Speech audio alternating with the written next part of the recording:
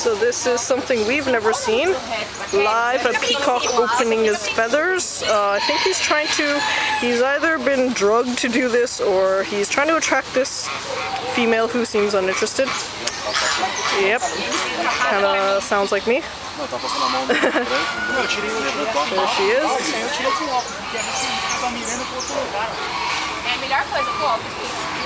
there she is.